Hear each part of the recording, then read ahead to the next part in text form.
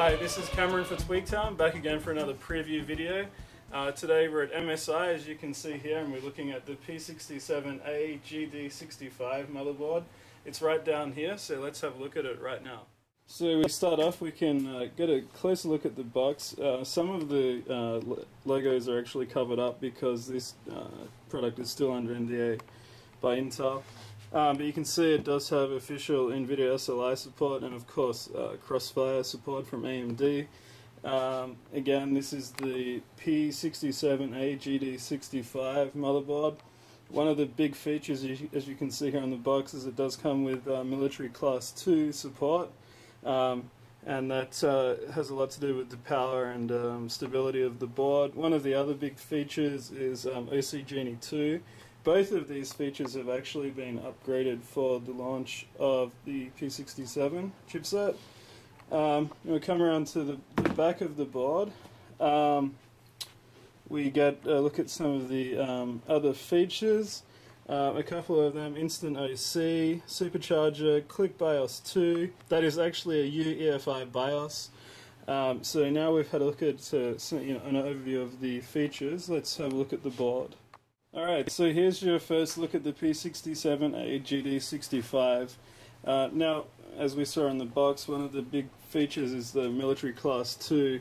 Uh, now, if we come in close, you can see that there are these chokes here, uh, SFC.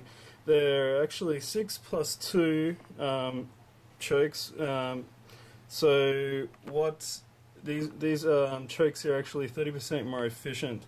So on a MSI board like this, this is actually a mid-range board. You may expect to see, you know, 8, 12, 10 power phases. This one has 6, as we mentioned, um, and that's because these um, uh, SFC uh, chokes are able to provide 30% more current.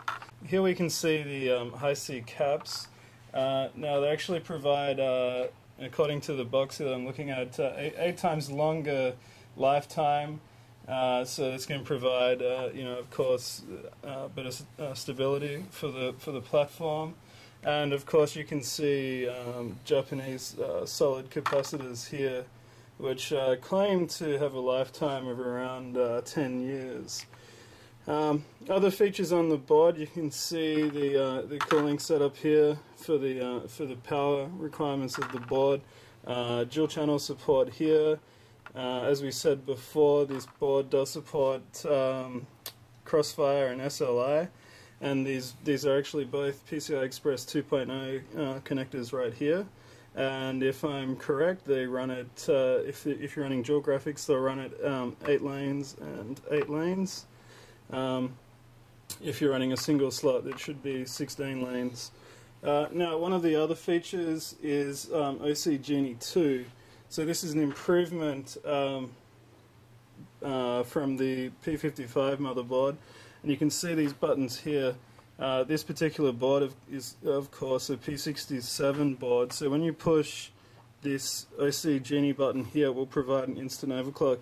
Unfortunately, um, due to the NDA, we're not allowed to say um, the actual boost in performance, but it is uh, pretty good. Uh, then of course there's a power and reset button here. There are a total of four SATA 6 um, connectors on there. Two of the SATA 6 connectors are provided from the P67 chipset and there is a, uh, I believe a Marvell uh, chipset on there to provide the extra two SATA 6 um, gigabit slots. Now we come around to the back, you'll notice um, there are two USB 3 um, ports here, and they are provided by the um, NEC controller. So you get two USB 3 ports on the back I.O. panel, and this um, pin header here provides another two USB 3 ports. Now coming back to the box here, one of the extra features that we um, saw before is the supercharger.